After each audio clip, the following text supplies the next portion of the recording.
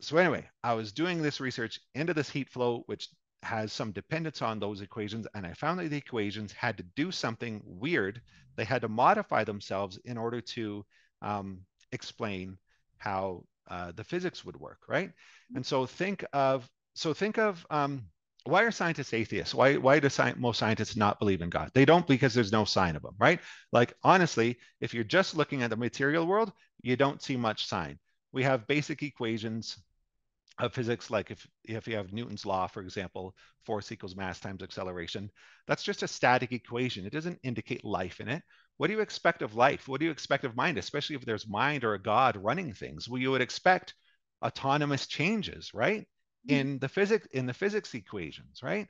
But the thing is, if you have an equation like force equals mass times acceleration, there's no room for change in that. That's the way it's got to be. It can't change. It's just a static fixed equation. But the thing is, when you look at it with the Fourier transform describing heat flow, now you're talking about the type of math that relates the spirit world to the physical world. So I found some changes happening in that equation, which indicates that those equations have to be self-aware.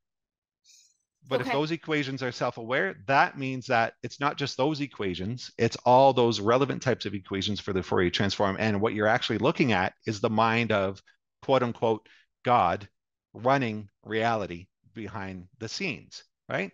So this God is not actually God in the way we think of it. It's a it's a computer program, a very, very vast, big, giant computer program which runs the substrate of our physical reality and basically manages the laws of physics right so okay. a lot of people a lot of people would have called this thing god but it's not actually god because it's actually a created entity so the question is who created this entity to create this universe to manage the laws of physics